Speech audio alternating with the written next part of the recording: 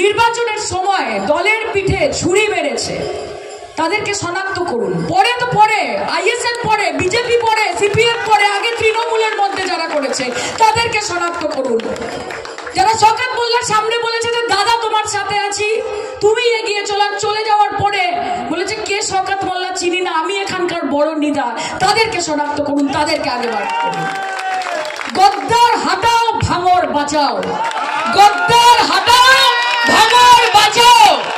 CPM, BJP, ISF, এরা পরে হবে। আগে নিজের দলের ভেতরে যে গদ্দারগুলোকে আছে, তাদেরকে শনাক্ত করতে হবে, তাদেরকে ছুঁড়ে ফেলতে হবে।